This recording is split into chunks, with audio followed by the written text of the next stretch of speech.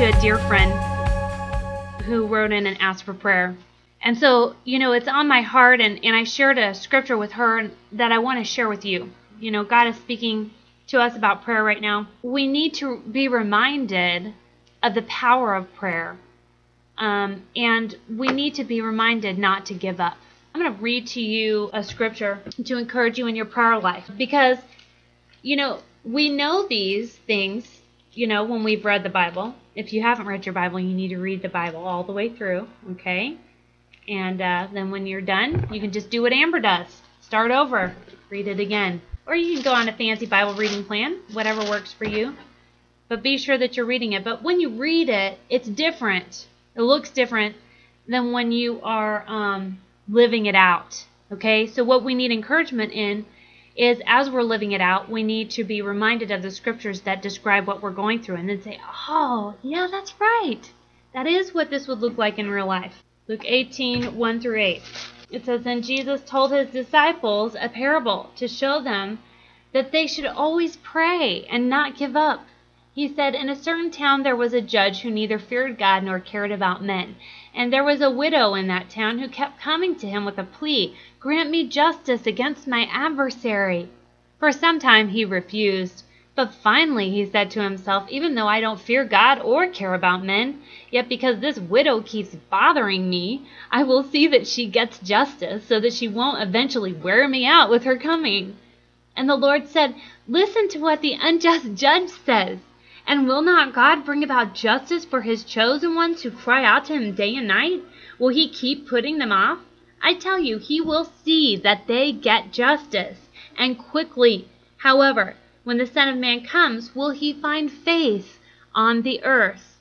Understand, Jesus is telling you, you've got to keep on asking. And some of you, maybe you've been praying for something for a long time. Maybe you've been praying for deliverance from a sin. He's talking about justice. Understand that Jesus is going to deliver you. He's your deliverer when we're kept in bondage to sin. He comes to break the chains of bondage, to break us out of prison. He comes to uh, do that in all areas of our lives, physically, spiritually. That's His anointing. He's encouraging us here, and I want to encourage you in the fact that this isn't instant pudding. Okay? Sometimes you pray to God and God just gives gives you your request immediately and it's wonderful when he does that. But Jesus is telling you right here it's not always going to be that way. Sometimes you have to keep knocking and keep knocking and going every day with your request. Give me justice. Give me justice, Lord. Come and deliver me. Help me. And why does that take faith? Think about it, you guys. Because it's easy uh, to lose faith and to get disillusioned and to imagine that God doesn't care about you if you are going every day and you're not getting, you know, what you're requesting. But Jesus is telling you ahead of time that this is often what it's like. You have to keep asking and don't stop. You have to continue to pray and don't stop. Why? Because God wants you to have faith. And you only have to have faith in that critical period of time when you're waiting and you haven't received what you're asking for. Okay? So if you're in that period of time, that's the period of time we hate, right? We don't want to be there. We want to skip to the end. But it's that period of time when the real work is done in your soul that's going to enable you to be even more powerful in your prayers in the future because if you can trust God when you can't see the answer, you still trust God is good. I mean, this was an unjust judge.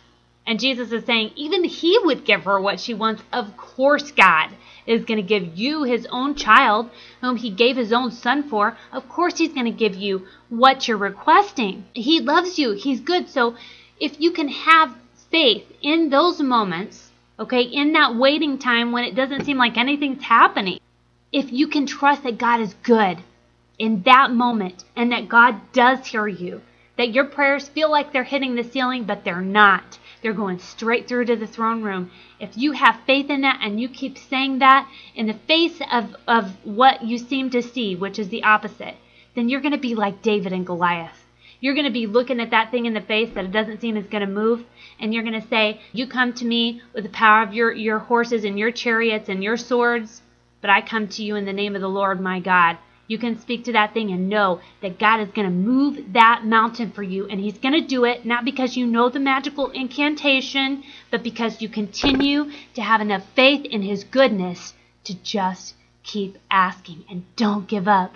Okay, so I want to encourage you if you've been discouraged in your life for whatever reason, keep praying and don't give up. God is going to show up and it is going to be a glorious thing when He gives you what you're asking for. You will know that the Lord has moved on your behalf.